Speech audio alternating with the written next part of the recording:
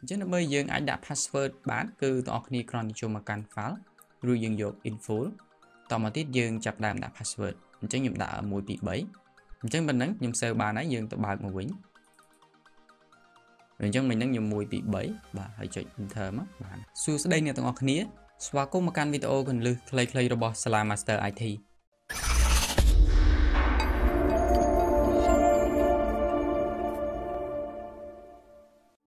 នៅក្នុងវីដេអូនេះខ្ញុំលើកយកគន្លឹះមួយទាក់ទងទៅនឹងការដាក់បញ្ចូលទៅលើ password នៅក្នុង file របស់យើងក៏ដូចជាការកំណត់មុខងារមួយចំនួន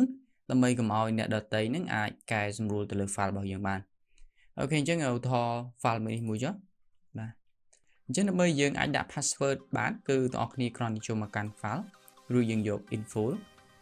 បន្តមកទៀតទាំងអស់គ្នាចូលមកកាន់ protect document អញ្ចឹងនៅត្រង់កន្លែងនេះទី2នេះគឺទាំងអស់គ្នាគ្រាន់តែចុចមកឆ្វេងលើនៅមក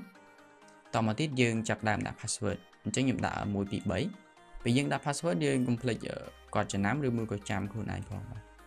1 2 3ជៀសវាងការភ្លេច password យើងបើកអត់បានអូខេបន្ទាប់ពីយើង protect បានប៉ុណ្ណឹងហើយយើងចេញមកវិញតមកទៀតយើងចុចខ្វាយនេះមកហើយ save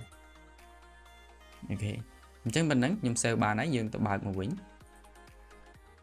របៀបសិក្សាតាមវីដេអូនៅលើ app នៅពេលដែលបងប្អូនបានបង់ប្រាក់រួចរាល់ហើយដើម្បីចូលរៀននៅលើវគ្គសិក្សាដែលបងប្អូនបានទិញគឺចូលមកកាន់មេរៀនរបស់ខ្ញុំរួចជ្រើសរើសវគ្គសិក្សាដែលត្រូវសិក្សាបន្ទាប់មកដល់ផ្ទាំងដែលត្រូវសិក្សាត្រូវចុចចំណុចមាតិកាបងប្អូនអាចសិក្សាមេរៀនទៅតាមលំដាប់លំដោយបានដើម្បីទាញឯកសារបងប្អូនត្រូវចូលទៅកាន់ទីតាំងឯកសារចុច join channel Telegram ដើម្បី download ឯកសារមេរៀន ត្រង់ទីតាំងសំណួរបងប្អូនអាចចុច join group Telegram គ្រូជំនួយដើម្បីអាចសាកសួរព័ត៌មានពេលមានចម្ងល់ទាក់ទងទៅនឹងមេរៀនបងប្អូនក៏អាចចុចភ្ជាប់ទៅកាន់ផ្នែករដ្ឋបាលប្រសិនបើមានបញ្ហាក្នុងដំណើរការសិក្សាត្រង់ tab ប្រឡងបងប្អូនអាចប្រឡងពេលរដ្ឋបាល មានការជូនដំណឹង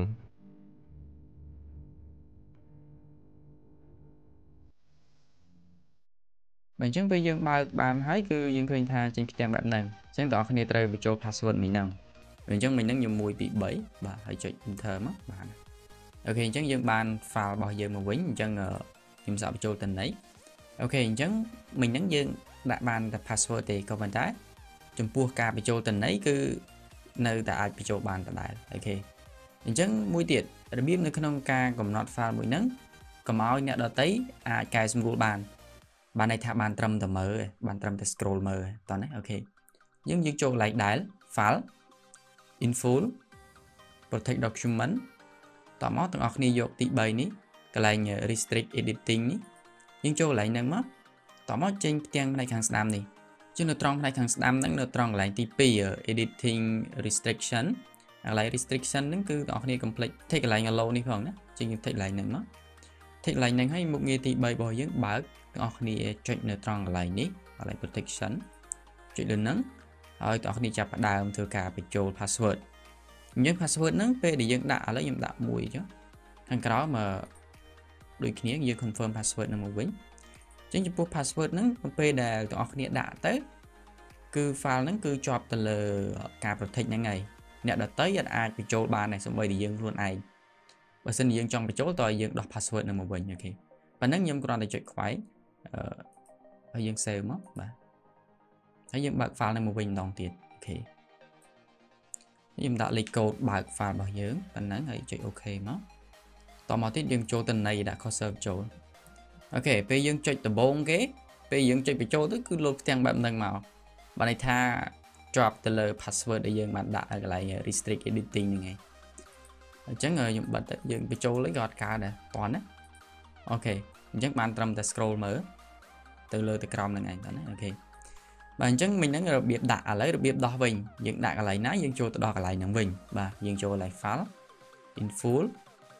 protect document ដែរបាទខ្ញុំដោះកន្លែងហ្នឹងមួយតោះគ្នាយកកន្លែង stop protection នេះមកបាទចុចមកឆ្វេងលើហ្នឹងហើយយើងបញ្ចូល password មិញហ្នឹងមួយមួយបាទមួយ3ដងអូខេមកបាទប៉ុណ្ណឹងអស់ហើយយើងដោះ tick វិញហើយចុចខ្វែងមកOK អញ្ចឹងខ្ញុំដោះតាំង password ទៀតទៅ ចុច info ខ្ញុំដោះ password ដែរបាទយើងលុបមកចុច OK